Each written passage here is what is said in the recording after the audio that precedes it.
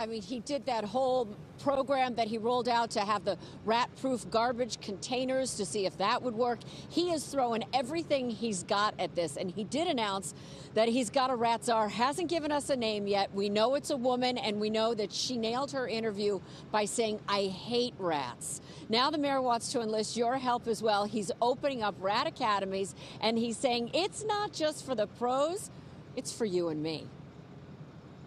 Rats. They're everywhere in New York, and nobody likes them. From streets and parks to dragging a slice back to feed their families in a burrow. And Mayor Adams, making it his mission to eradicate them. He has created rat academies for you and me, seminars being brought to city residents in neighborhoods, as well as pest management pros, to help them fight the problem alongside the city's efforts. This as rat complaints are on the rise 7,300 last year, nearly 8,000 so far this year, with the largest number of sightings in Manhattan Valley, Ridgewood, and Bushwick.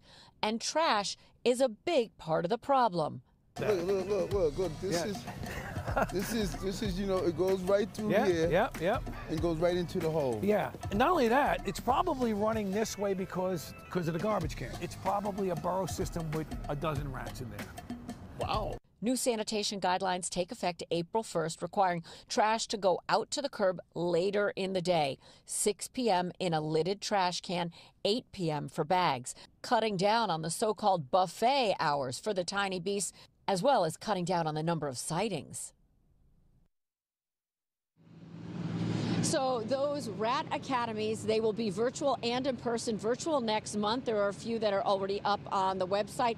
This month, you've got in person in Brooklyn, the Bronx, Manhattan. He has specific ones for gardeners if you hate growing food just so that the rats can enjoy it and not you. And he's got two versions for the professionals. Those are three day long intensives. So far, they're only running twice this year. More at nyc.gov.